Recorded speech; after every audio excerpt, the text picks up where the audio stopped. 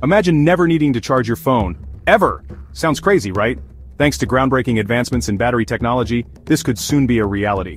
Picture a world where your phone stays at 100% charge, no matter how much you use it. No more hunting for chargers or worrying about battery life.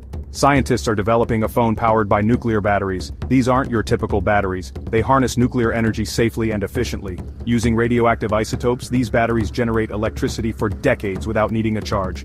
Your phone could last a lifetime without ever being plugged in. No heat, no explosions, just clean, long-lasting power. Imagine the convenience and peace of mind. This tech is used in space probes like Voyager, running for over 40 years in harsh space environments.